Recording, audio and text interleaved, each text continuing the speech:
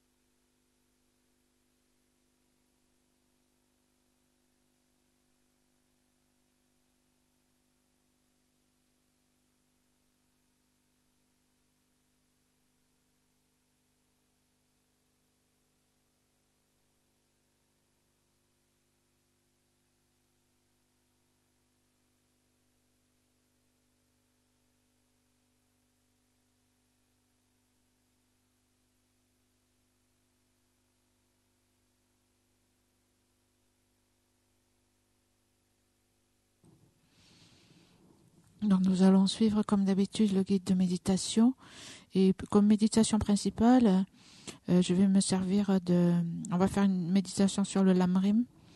Et en fait je vais je vais me servir du texte euh, la brève méditation sur les principaux thèmes du lamrim qui se trouve à la page 149 du livre doré. Donc si vous voulez, vous pouvez le, le suivre aussi, mais c'est pas obligatoire, vous pouvez aussi juste écouter, je vais le lire c'est comme vous voulez si vous voulez. C'est à la page 149. Donc après les préliminaires, les préparations qu'on fait d'habitude.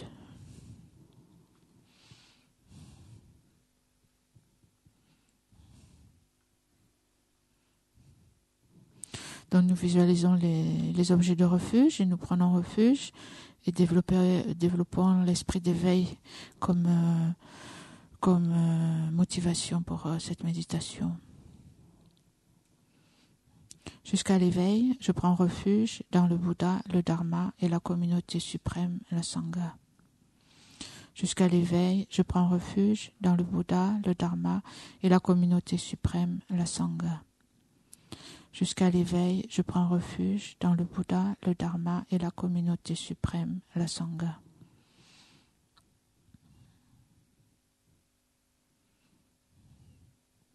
Quand on prend refuge aussi, on peut faire euh, ce, que geshe a mentionné. On peut visualiser dans la lumière blanche hein, qui nous débarrasse de tous les obstacles.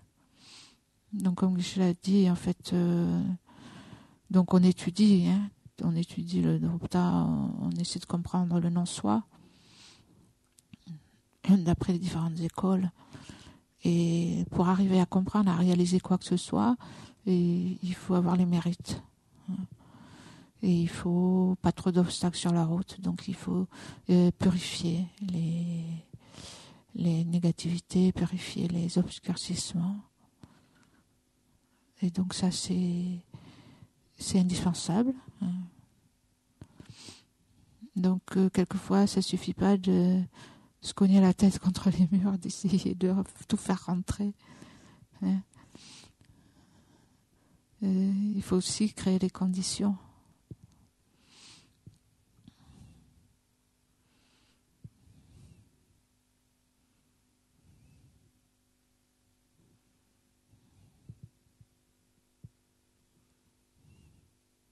Donc nous prenons refuge et nous développons l'esprit d'éveil comme euh, motivation. Grâce aux deux accumulations rassemblées par ma pratique de cette méditation, puissais-je devenir un Bouddha afin d'être bénéfique à tous les êtres? Grâce aux deux accumulations rassemblées par ma pratique de cette méditation, puissais-je devenir un Bouddha afin d'être bénéfique à tous les êtres? Grâce aux deux accumulations rassemblées par ma pratique de cette méditation, puissais-je devenir un Bouddha afin d'être bénéfique à tous les êtres. Nous souvenons-nous que les deux accumulations, euh, c'est en fait les deux bodhicitta, hein, l'accumulation de mérite, l'accumulation de sagesse, c'est-à-dire que ce que nous faisons, la méditation, ou quelle que soit l'activité que nous faisons, nous essayons de la sous-tendre avec euh, la motivation de bodhicitta, donc euh, la compassion pour tous les êtres, par compassion pour tous les êtres, avec l'aspiration à les libérer de la souffrance. Euh, l'aspiration même à devenir un Bouddha, et aussi la bodhicitta ultime, c'est-à-dire euh, euh, essayer de se souvenir que tout ce que nous faisons, par exemple la personne qui fait la pratique, par exemple la méditation, la, la personne qui médite, l'action de méditer et l'objet, la méditation, les trois, donc sont vides d'existence propre d'exister de leur propre côté. Vite d'exister, en fait, d'après les Chittamatra, par exemple, comme des objets extérieurs, indépendants, séparés de, de la conscience qui les perçoit.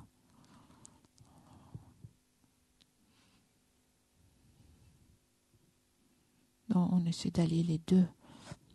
Cette. Euh, notion de vacuité et aussi donc euh, l'intention altruiste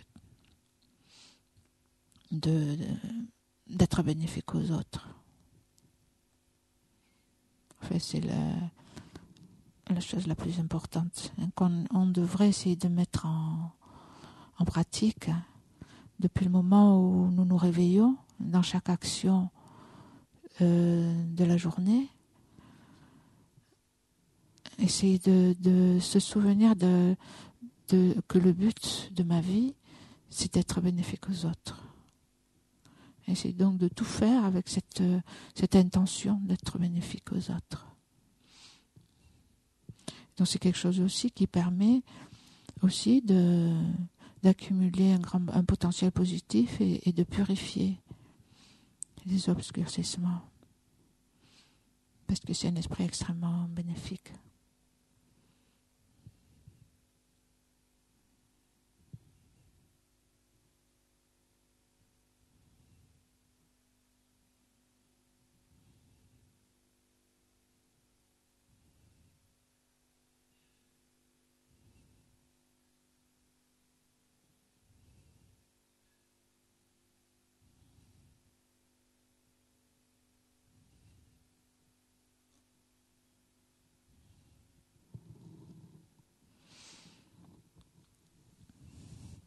Nous offrons la prière à cette branche. On peut s'arrêter à chacune pour réfléchir un petit peu. Donc avec respect, je me prosterne par le corps, la parole et l'esprit.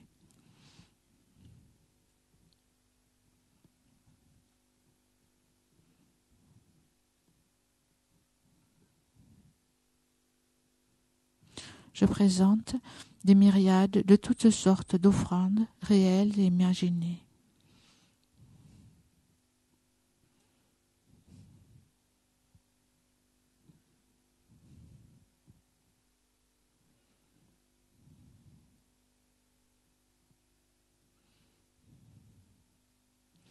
Je confesse toutes les actions négatives accumulées depuis des temps sans commencement.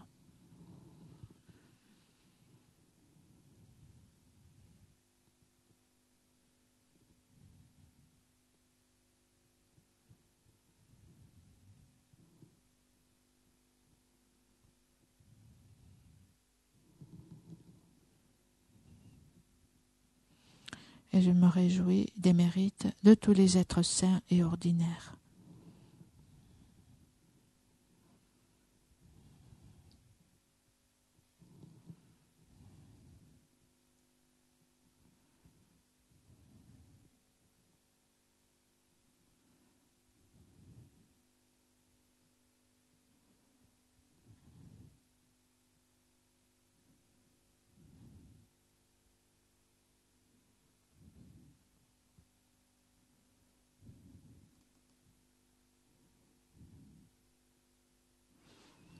Ô maîtres et demeurez, je vous prie, jusqu'à la fin du samsara et tournez la roue du dharma pour les êtres.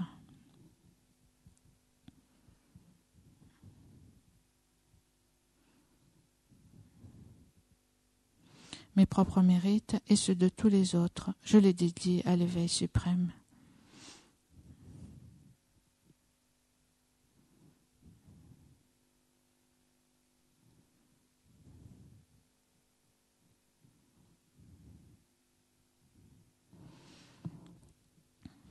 Cette terre, ointe d'encens, jonchée de fleurs, ornée du mont Mérou, des quatre continents, du soleil et de la lune, je la visualise comme un chant de Bouddha et l'offre.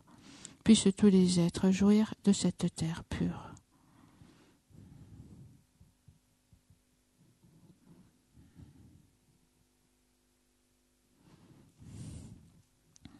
Je prends refuge et me prosterne devant le Maître et les trois joyaux précieux. Veuillez, je vous prie, bénir mon esprit. Je vous fais la requête de pacifier immédiatement toutes les conceptions erronées, de la dévotion incorrecte envers le Maître, jusqu'à la vue dualiste, dans mon esprit et dans celui de tous les êtres mes mères. Je vous fais la requête de susciter dans mon esprit et celui de tous les êtres mes mères toutes les réalisations correctes de la dévotion au Maître jusqu'à l'éveil je vous fais la requête de pacifier tous les obstacles intérieurs et extérieurs qui entravent le développement de l'intégralité de la voie graduée vers l'éveil dans mon esprit et dans celui de tous les êtres mes. Je prends refuge et me prosterne devant le Maître et les trois joyaux précieux. Veuillez, je vous prie, bénir mon esprit. Je vous fais la requête de pacifier immédiatement toutes les conceptions erronées de la dévotion incorrecte envers le Maître jusqu'à la vue dualiste dans mon esprit et dans celui de tous les êtres mes mères. Je vous fais la requête de susciter dans mon esprit et dans celui de tous les êtres mes mères toutes les réalisations correctes de la dévotion au Maître jusqu'à l'éveil. Je vous fais la requête de pacifier tous les obstacles intérieurs et extérieurs qui entrave le développement de l'intégralité de la voie graduée vers l'éveil dans mon esprit et dans celui de tous les êtres mes mères. Je prends refuge et me prosterne devant le Maître et les trois joyaux précieux. Veuillez, je vous prie, bénir mon esprit.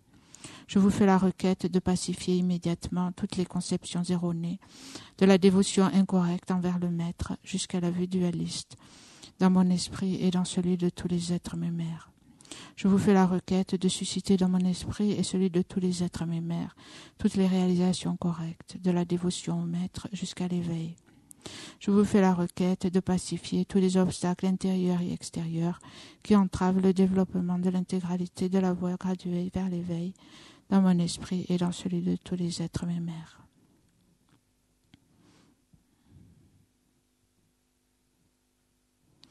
idanguru ranama kamniyatayami.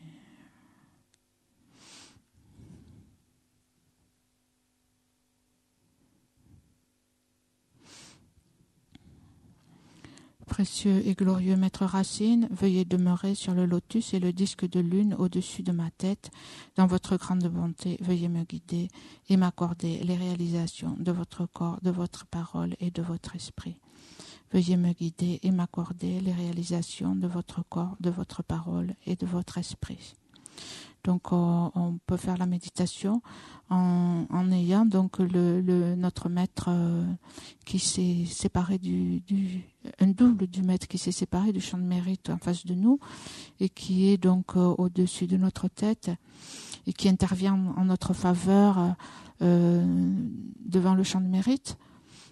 En fait, qui est dans un aspect d'être très content hein, de nous voir faire la pratique et qui, intercède euh, auprès du champ de mérite pour nous donner les réalisations, pour nous inspirer pour la méditation. Et donc, euh, je voulais prendre cette méditation. En fait, euh, là, j'étais ce mois-ci, j'ai assisté à la, retraite avec la Rinpoche aux États-Unis. Et Rinpoche, en fait, il a, mis au point une pratique euh, quotidienne à faire tous les matins. Euh, et je pense qu'elle est en train d'être traduite. Je pense qu'elle n'est pas sortie en français. Et en fait, cette pratique, elle commence avec cette méditation du lamrim. Hein.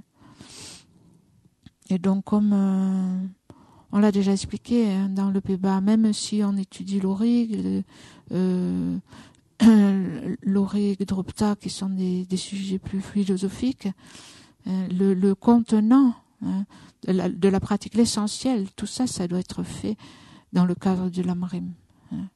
Le lamrim, c'est l'essentiel. Donc il ne faut pas perdre ça de vue. Et si aussi, euh, on l'a dit en début de module, donc je le répète, euh, la méditation que vous faites tous les jours. Hein. Euh, donc il y a des méditations qui sont données, par exemple, qui ont été données sur le non-soi. Hein. mais euh, l'essentiel, c'est quand même le lamarim. Hein. et on avait dit, c'est bien si vous pouvez diviser le lamarim, les sujets du lamarim au cours de l'année. Et donc une façon de faire, c'est de prendre donc euh, d'utiliser une prière de l'Amrim, par exemple celle-ci, ça peut être une autre, hein, et donc de la lire tous les jours, tous les matins, et donc euh, et de vous arrêter. Vous pouvez vous vous arrêter donc sur un sujet. Euh, par exemple, vous pouvez prendre un sujet par jour ou un sujet par semaine, hein, où vous pouvez vous étendre sur un sujet le temps que vous voulez et, ensuite passer au suivant hein, et approfondir donc chaque sujet à tour de rôle. Donc on va lire euh, lentement la prière. Hein. Donc tous les jours vous faites la prière en entier et vous approfondissez, c'est un des aspects. Vous qui êtes l'essence incarnée de tous les Bouddhas, la source du pur dharma des transmissions et des réalisations, vous qui êtes suprême parmi toute la sangha des Aryas, en vous tous, maîtres sublimes et purs, je prends refuge on s'adresse aux maîtres, on s'adresse à tous les maîtres. Mais en fait, euh, principalement euh, aux maîtres racines, euh, qui, en fait, tous les, tous les, qui représentent tous les maîtres et tous les bouddhas. Hein. Tous les bouddhas, tous les maîtres sont de la même nature. Hein.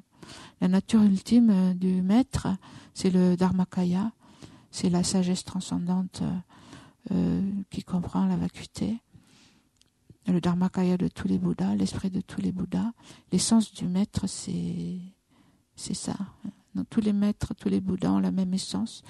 Et, pour nous, euh, ce qui représente le mieux, euh, cela, c'est, c'est le maître, notre maître personnel. Veuillez, je vous prie, bénir mon esprit, afin qu'il devienne Dharma.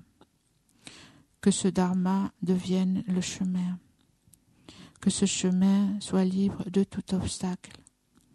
Jusqu'à ce que j'obtienne l'éveil, puissé-je, tout comme les bodhisattvas, Chenu Norzang et Taktungu, pratiquer la dévotion pure envers mon maître, en pensée et en action.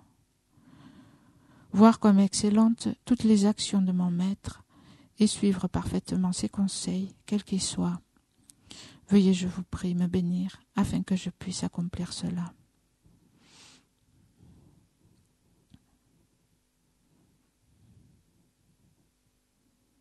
On demande les bénédictions pour accomplir, pour pouvoir pratiquer euh, la dévotion au maître. On peut réfléchir un peu sur ce sujet. La dévotion courante avec le maître, en fait, ce que ça veut dire, c'est de, se relier correctement au maître spirituel euh, en pensée et en action. C'est l'essence, en fait, de la pratique.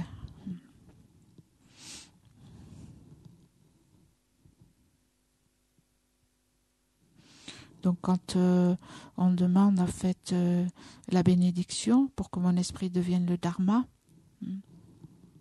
donc je vous lis quelques commentaires euh, de de la Rinpoche en fait quand il a pendant la retraite il a fait le commentaire de cette prière. Et veuillez bénir mon esprit pour qu'il devienne le dharma. Et en fait, euh, transformer l'esprit en dharma, ça veut dire transformer l'esprit avec la, modification de bodhicitta.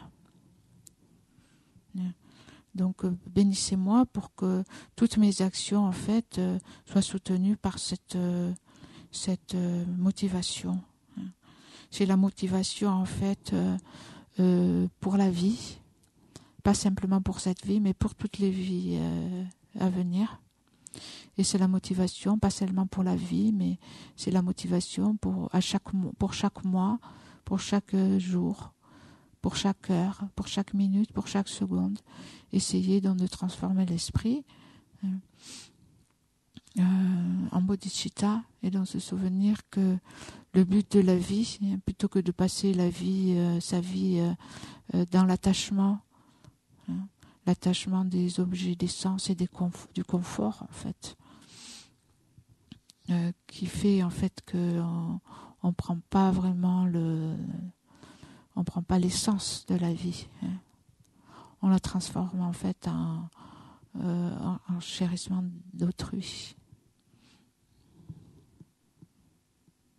Et donc on demande au maître, de, le maître c'est la personne qui nous inspire à transformer l'esprit de cette façon.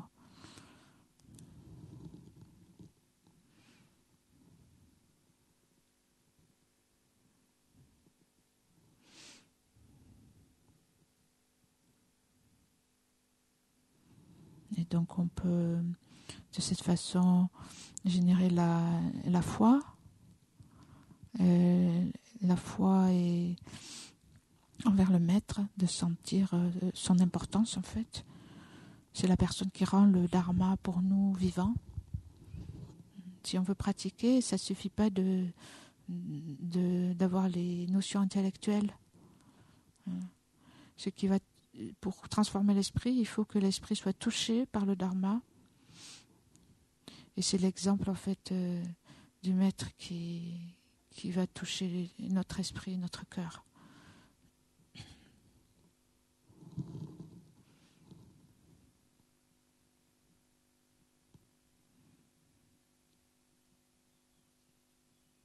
On dit en fait que tous les, tous les Bouddhas des trois temps viennent du maître viennent du gourou. Tous les Bouddhas des trois temps, en fait, ont eu un maître grâce auquel ils, sont, ils se sont éveillés. Et donc, avant le maître, il n'y a pas ne serait-ce que le mot, le nom de Bouddha.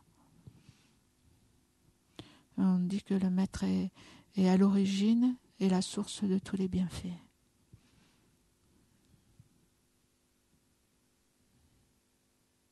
Et donc c'est pour ça qu'on dit c'est la racine du sentier.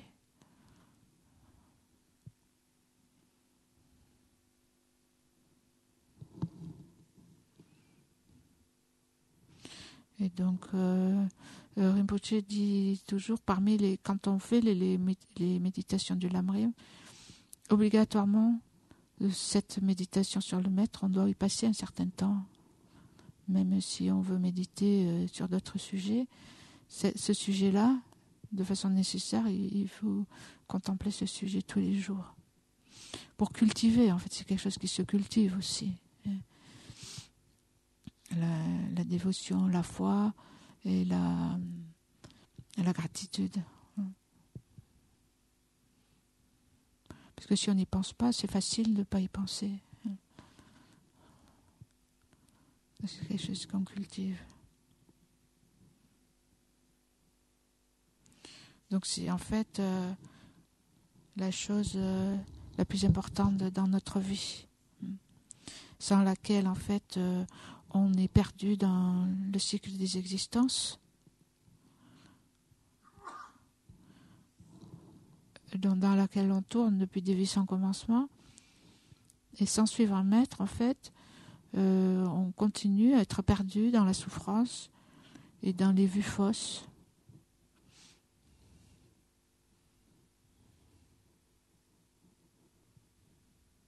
complètement submergé en fait dans les vues fausses, euh, à voir ce qui est impermanent comme étant permanent, à voir ce qui est souffrance comme étant bonheur, à voir ce qui est impur comme étant pur, à voir ce qui est dénué de soi, d'existence en soi, intrinsèque comme ayant une existence euh, euh, réelle en soi.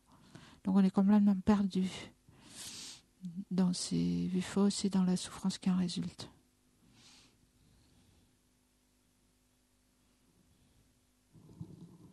Et donc il est dit dans le, dans le texte, jusqu'à ce que j'obtienne l'éveil, puisse-je euh, pratiquer la dévotion pure, comme euh, les bodhisattvas, Chenu, Norsan et Taktungu. Taktungu, c'est le bodhisattva qui pleurait toujours. Hein, Taktungu, c'est ça que ça veut dire, celui qui pleurait toujours. Donc il est représenté. Euh, il pleurait toujours parce que face à la, à la souffrance des êtres qu'il trouve insupportable. Et donc il, il est un exemple de, de dévotion correcte au maître. J'ai une photo d'ailleurs, il est représenté, euh, j'ai une photo d'une statue. Euh, il a du sang qui coule euh, en fait sur ses cuisses parce que c'est le bodhisattva en fait. on dit que il avait déjà atteint en fait le sentier de l'accumulation le grand sentier de l'accumulation. Donc il était déjà à un niveau où il pouvait voir d'innombrables Bouddhas en Nirmanakaya. Il avait la vision d'un nombre incroyable de Bouddhas, mais cependant il avait toujours le désir de voir euh, son maître, le maître avec qui il avait une connexion karmique, et de prendre des enseignements de ce maître. Et donc c'est l'histoire en fait euh, qui dit que alors qu'il préparait le, siège, son maître allait venir pour l'inviter à enseigner et qui balayait l'endroit euh, où l'enseignement allait se passer. Comme il y avait beaucoup de poussière et qu'il n'avait pas d'eau, en fait il avait fait couler son propre sang hein, pour faire tomber la poussière, pour accueillir son maître. Et donc c'est un exemple de dévotion.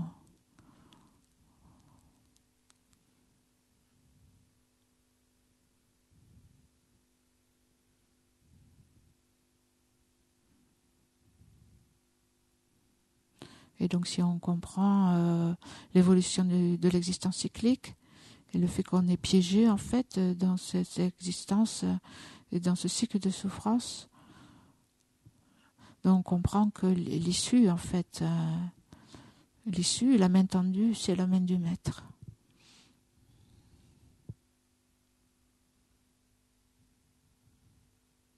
Et donc il devient extrêmement important de cultiver cette relation de façon correcte, c'est-à-dire en pensée et en action. Donc, comme il est dit dans le texte, voir comme excellentes toutes les actions de mon maître. Euh, ce qui veut dire, en fait, euh, euh, en essence, on dit voir le maître comme un Bouddha, ce qui veut dire, en fait, ne pas voir les fautes, mais ne voir que les qualités. Et voir aussi que les fautes qui apparaissent, en fait, chez le maître sont dues au fait que le maître apparaît sous un aspect ordinaire pour entrer en relation, pour entrer en relation avec nous, qui correspond en fait aussi avec notre karma.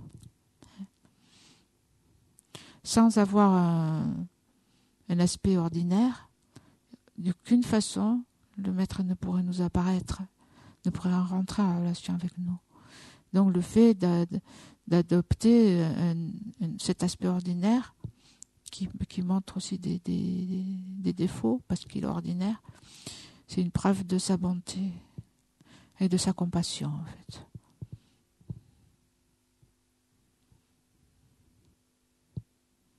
Et suivre en action, qui veut dire en fait euh, euh, mettre en, en, pratique tous les conseils. Hein. Donc les conseils, ça peut être les conseils personnels, mais c'est aussi principalement dans tous les conseils euh, du Dharma qui sont donnés dans les enseignements. Donc on peut réfléchir un petit instant, je vais m'arrêter un peu de parler, sur la bonté du maître, l'importance du maître, l'importance de suivre les conseils et quels sont les conseils que je dois suivre. hein, qui m'ont été données ou euh, essentielles dans l'enseignement que je, que je dois suivre.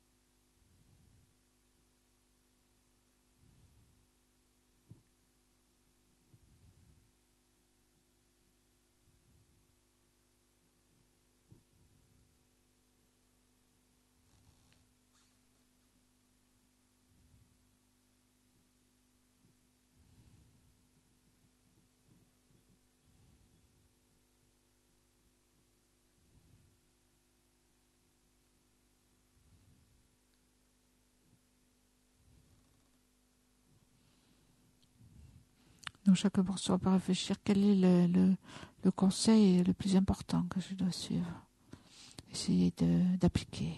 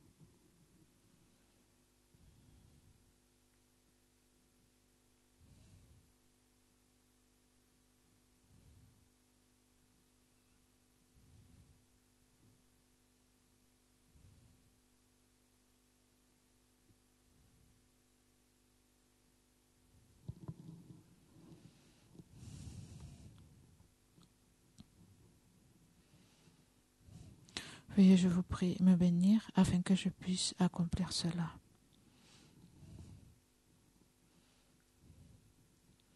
Voyons que cette parfaite renaissance humaine, d'une valeur inestimable, est difficile à obtenir et facilement perdue.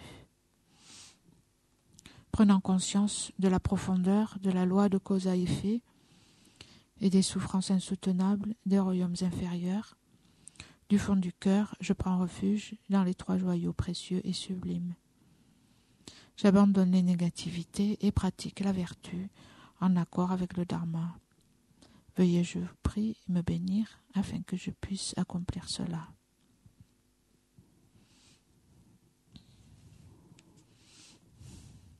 Sur cette base, je ne peux obtenir que les renaissances supérieures des humains et des dieux,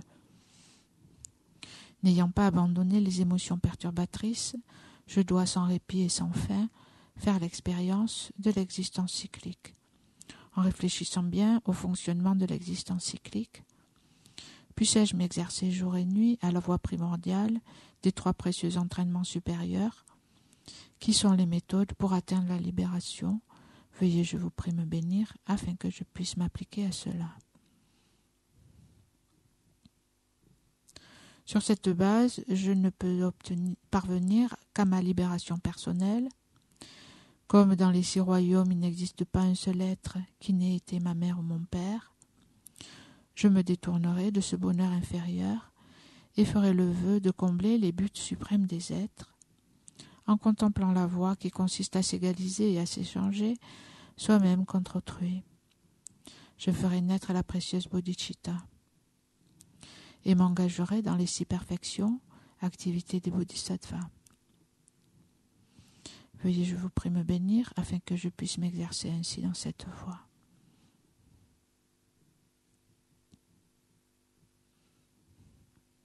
M'étant ainsi exercé sur la voie commune, je n'aurai moi-même aucune aversion à endurer les souffrances de l'existence cyclique pendant très longtemps, mais par la force d'une compassion insoutenable et extraordinaire envers tous les êtres, puissé-je entrer sur la voie rapide du Vajrayana, en observant purement mes vœux et engagements, même auprès de ma vie.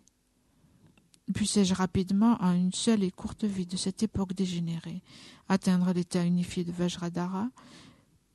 Veuillez, je vous prie, me bénir afin que je puisse atteindre cet état.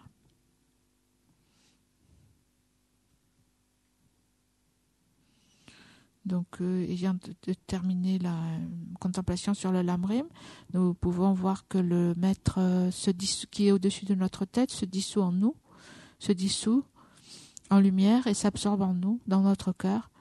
Et donc, penser que mon corps, ma parole et mon esprit font un avec le corps, la parole et l'esprit du Maître.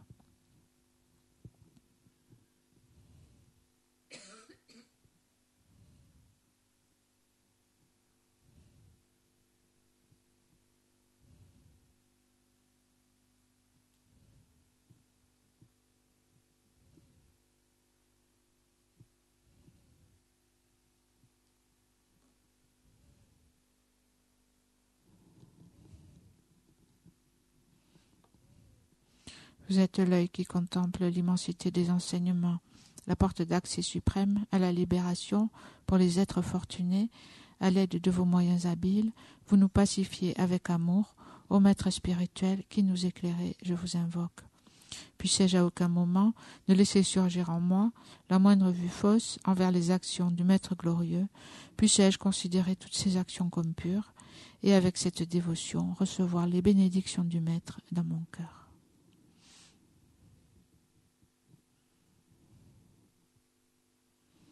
Nous pouvons dédier cette euh, énergie positive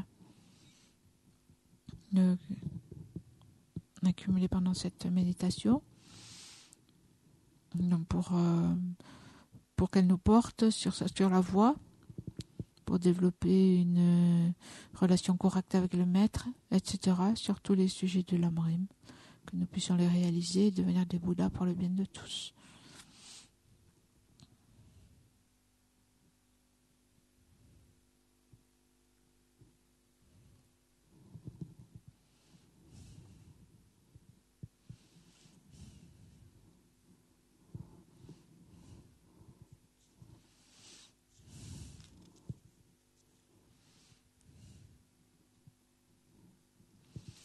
Et nous pouvons faire euh, à la page 207 l'offrande de nourriture.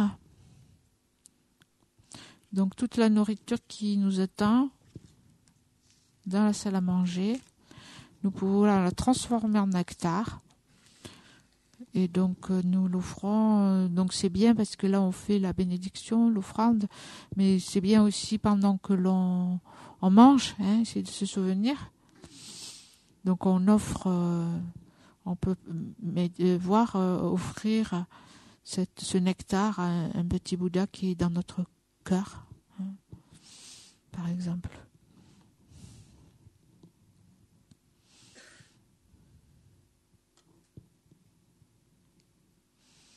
Et donc, lorsqu'on offre cette nourriture au Bouddha à notre cœur, il fait l'expérience de la félicité et irradie la lumière qui remplit tout votre corps.